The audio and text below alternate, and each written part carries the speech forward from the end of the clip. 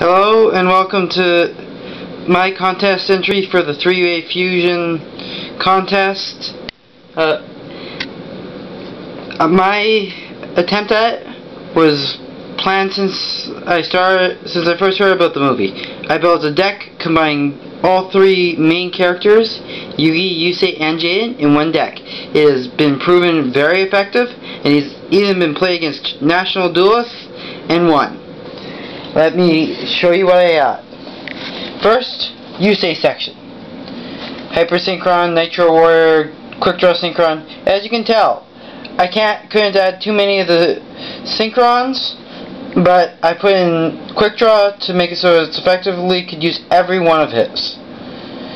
Level, level 1s to use all his cards.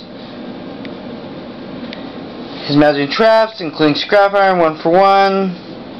Scrubbed Raid, all that. That was the Yusei section. A lot of stuff for the Yugi section as well, mainly focusing on the materials for the Dark Magician and Dark Paladin setup. Quite a bit there.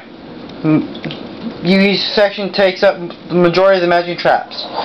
For Jaden's, I didn't have much to work with as putting all his heroes would take way too much room. So I just put in some of his basic and ran off some of the more loosely able to use heroes.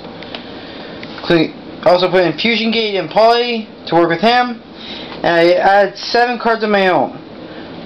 That way I could run the deck more smoothly to replace certain cards that are either banned or not released in our cards.